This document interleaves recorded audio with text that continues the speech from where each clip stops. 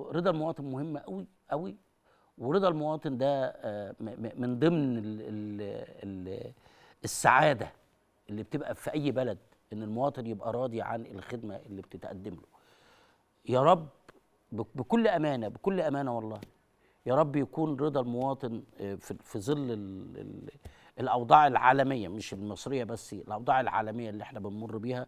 وطبعا الوضع في مصر برضو لازم رضا المواطن ده شيء يعني استيعابه احتضانه يعني نحاول بقدر الإمكان نخش في دايرة آه، الرضا المتبادل. عارفين زي موضوع بتاع التأمين الصحي الشامل الجديد اللي بيتطبق.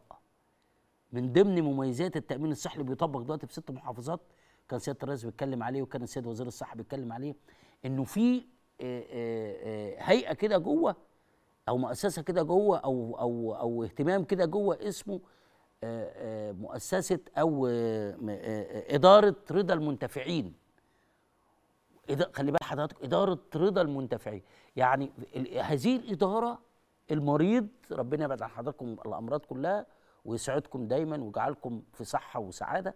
المريض لما بيبقى جوه المستشفى إدارة رضا المنتفعين بتروح تسأله. أنت راضي عن الخدمة اللي متقدمها لك؟ أنت راضي؟ وعلى فكرة لو قال أنا مش راضي بيشوفوه إيه المشكلة بتاعته؟ أنا والله العظيم ما بقول كلام آه، فانتازيا. هذا الأمر يحدث في مصر يحدث في إسماعيلية يحدث في بورسعيد. لا يحدث في بورسعيد يحدث في آه، آه، إسماعيلية. يحدث في الأقصر يحدث في جنوب سيناء.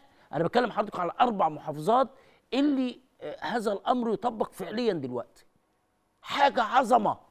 أنا بقول لحضراتكم لو كل حلقة أقدر أتكلم على الموضوع بتاع التأمين الصحي الشامل ده الحقيقة والدكتور السبك والناس اللي معاه على راسنا حاجة كده اللي يعني زي ما على رأي الأستاذة عبلة كامل كده تقول لك القلب بيرفرف كده لما بيشوف الحاجة. والله العظيم زي ما بقول لحضراتكم كده. ولما تزوروا أو بلاش تزوروا لو أنتم من أهل هذه المحافظات هتلحظوا جدا احترام البني آدم لل أو احترام الصحة وزارة الصحة للبني آدم في هذا الإطار. وال- والمريض المريض بيلقى كل عناية. فنفس الإطار أعمله في وزارة التموين.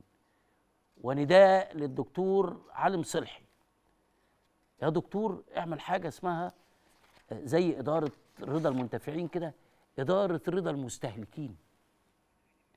المستفيدين آه المستفيدين من الدعم. المستفيدين من بطاقة التموين. ليه لأ يا دكتور؟ ليه لأ؟ ما هو ال- ال- المواطن آه لأ إحنا مش هنقدر لأنه المواطن آه هيقدر آه، عمال يكلمنا على مشاكل وبتاع. احتضنه وهو بيكلمنا على مشاكل.